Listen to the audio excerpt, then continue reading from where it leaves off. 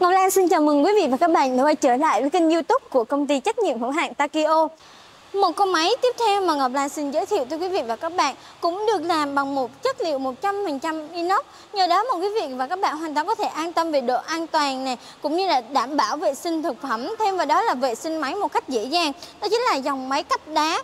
Phía bên phải Ngọc Lan đây, đó chính là máy xay đá cà phê mini Takio TK2HB với công suất của máy là 2HB.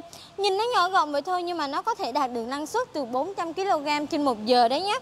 Và độ mịn của đá xay ra thì chỉ ở mức là 2,5 đến 5 mm.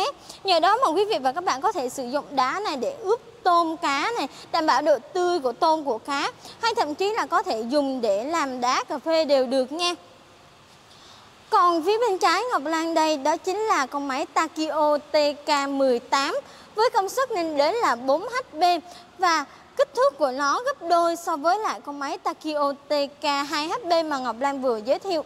Với con máy Takio TK2HP thì quý vị và các bạn chỉ xay được và đó là 1 phần tư cây nước đá thôi. Thì con máy Takio TK4HP này, quý vị và các bạn hoàn toàn có thể an tâm bởi vì miệng Nam nguyên liệu khá là lớn, cùng theo đó về hệ thống búa đập khá là rộng. Nên quý vị và các bạn hoàn toàn có thể đập được vào đó là từ nửa cây đá đến một cây đá nha.